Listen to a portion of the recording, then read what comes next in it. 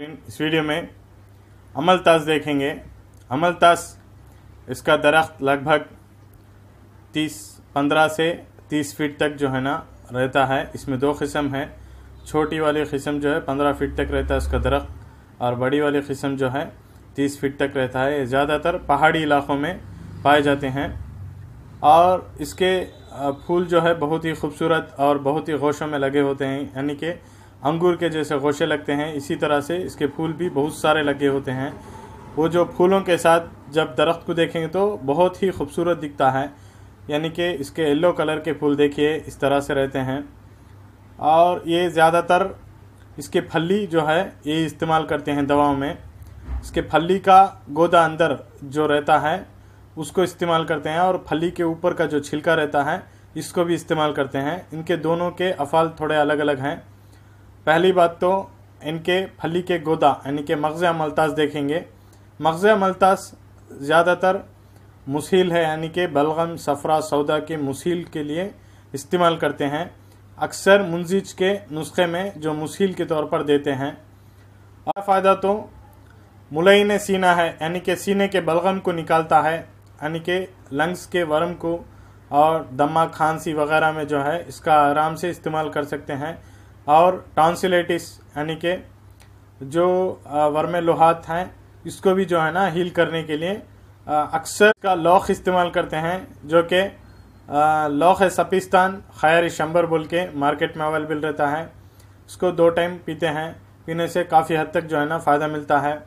और रही बात ये तीनों अखलात का मुसील है, इसलिए हर तरह के अमराज में इस्तेमाल कर सकते हैं। और ख़ासकर अगर जांडीज है तो इसको गाय के दूध में या फिर गन्ने के रस में या फिर छाछ के साथ या फिर लस्सी के साथ जो है ना, मिलाकर दे सकते हैं इसको। और इसके अलावा, अगर पेट में बलगम जमा हुआ है और भूख नहीं लगती है कॉन्स्टिपेशन थे तो ऐसे वक्त में इसको अजवाइन खुरासानी के साथ मिलाकर अमलता उसको दे सकते हैं दो टाइम। अमलतास की मकदार जो है ना, पाँच से दस ग्राम तक इस्तेमाल कर सकते हैं। ऐसी तरह से अजवाइन भी जो है ना, एक दो ग्राम मिलाकर इस्तेमाल कर सकते हैं। और इसके बाद ये जॉइंट्स पेन में भी जो है ना, बहुत अच्छी दवा है। जॉइंट्स पेन में अक्सर जो है गुड़कों का दर्द हो या घुटनों या फिर नखरस हो, या फिर शोल्डर पेन हो, सब पेन में जो है ना, आराम से दे सकते हैं। क्योंकि ये बलगम, सफरा, सौदा तीनों को जो है ना, मुसील है, निकालता है बदन से। इसलिए ये आराम से जो है ना दे सकते हैं। उस वक्त जो है ना मुनासिब अदवायों के साथ मिलाकर देना बेहतर रहेगा।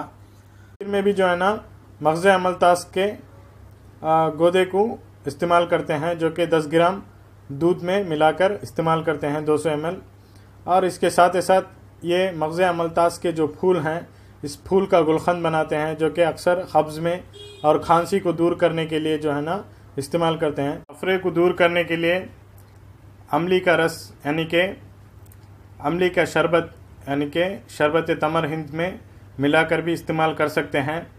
और इसके अलावा ये ज़्यादातर तन्हा इस्तेमाल करने से पेट में मरोड़ पैदा करता है, इसलिए अनीसून या बादियान वगैरह या फिर लस्सी या फिर गन्ने का रस या फिर आमले का रस, इसके साथ जो है ना इस्तेमाल करना बेहतर या फिर गुलखंद के साथ, ऐसा कोई भी अदविया के साथ मिलाकर इस्तेमाल करेंगे तो बेहतर रहेगा।